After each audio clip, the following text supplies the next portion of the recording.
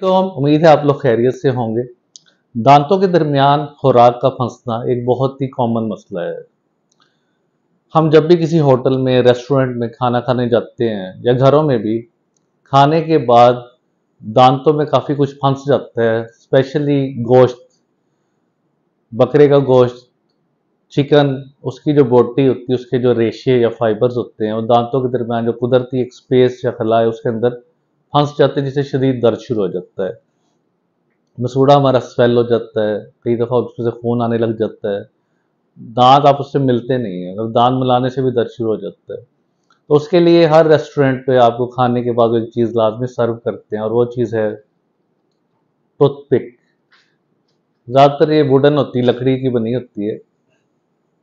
आगे से इसे तराशा होता है, ताकि स्पेसिस के दरमियान चले जाए और वहाँ से गोश्त वगैरह को बाहर निकाल दे तो जैसे ही आप इसे यूज़ करते हैं तो उसी टाइम आपका दर्द भी ठीक हो जाता है, मसूड़ा भी आपका नॉर्मल हो जाता है, इसलिए रूटीन से लोग इसे यूज़ करते हैं। लेकिन टूथपिक की वजह से या उसके इम्प्रॉपर गलत तरीके के इस्तेमाल से आपके मसूड़े ख़राब हो जाते हैं, अपनी जगह से पीछा हटना शुरू हो जाते हैं, जिसकी वजह से दांत आपके सेंसिटिव हो जाते हैं, उनमें ठंडा गर्म लगना शुरू हो जाता है।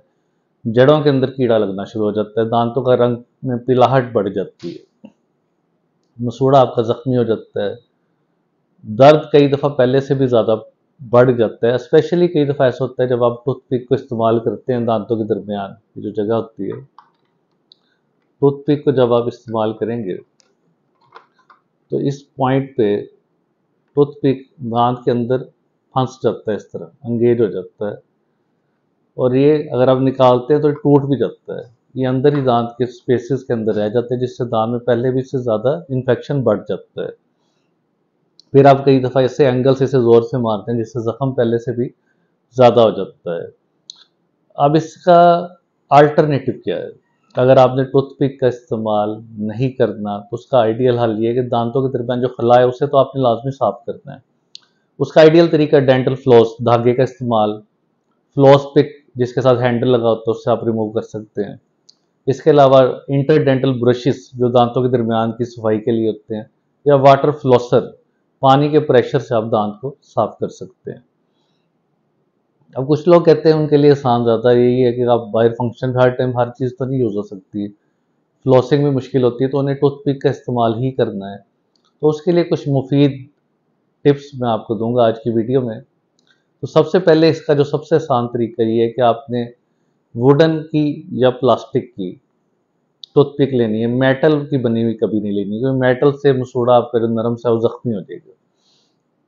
दूसरा, आपने जेंटल प्रेशर डालना है। जब भी आपने इसे अप्लाई करते हैं दांतों के दरमियान तो आपने हल्का सा प्रेशर डालना है। ज़ोर अजमाई नहीं करनी है कि उसके अंदर उसे घुसा दें, जिससे मसूड़ा आपका जख्मी हो जाएगा और उसमें इन्फेक्शन का चांस है। और हल्का सा उसे एंगल देना इस तरह। थोड़ा सा उसे टेढ़ा करके, तिरछा करके, यानी थोड़ा नीचे की तरफ़ रखना है। ना मसूड़े के अंदर आप घुसा रहे हैं ऊपर की तरफ़ तो दांत आपका जख्मी हो जाएगा। थोड़ा सा उसे टेल्ट करके तो फिर अंदर से चीज़ों का आपने निकालना है। बेसिकली जो जगह होती है इसकी, दांतों के दरमियान आपने इसे रखना होता है, क्योंकि इधर ही चीज़ें आपकी फंसी होती है। इसे रख के आपने उसे आहिस्ता आहिस्ता मूव करना होता है। स्लाइड स्लाइडिंग करते हैं इसे। इसके बाद इसका प्रेशर हल्का होना चाहिए। ये ना आप पूरे ज़ोर से प्रेशर डाल रहे हैं उस पर जिससे मसूड़ा भी ज़ख्मी होगा और दांत भी डैमेज होगा। और सबसे अहम चीज़, कभी भी इसका रेगुलर इस्तेमाल नहीं करना। अगर आप किसी फ़ंक्शन में गए हैं, किसी मीटिंग में या अपने शहर से बाहर जब आपको डेंटल फ्लॉस अवेलेबल नहीं है, या इंटर डेंटल ब्रशेज़ आपके पास नहीं है, तब आप टूथपिक का इस्तेमाल कर सकते हैं। कुछ देर के लिए, यानी दिन में एक दफ़ा कर लिया या कभी कभी कर लिया, उसका नुकसान नहीं है। लेकिन अगर आपके दांत पहले ही सेंसिटिव हैं, मसूड़े अपनी जगह से पीछे हटे हुए हैं तो ये टूथपिक उस चीज़ को और ज़्यादा ख़राब करेगी। मसूड़े आपके पहले से भी ज़्यादा पीछे हटना शुरू हो जाएगी, उनकी ख़राबी बढ़ती जाएगी। इसलिए टूथपिक का इस्तेमाल आपने कभी कभी करना है वो भी अगर आपको बहुत ज़्यादा उसकी ज़रूरत हो। अदरवाइज़ सबसे सिंपल तरीका, खाने के बाद अच्छी तरह कुरली करें। पानी मुँह में रख, उसे अच्छी तरह मुँह के अंदर हिलाएँ तो उससे मेन मेन ज़र्रात मुँह से निकल जाते हैं।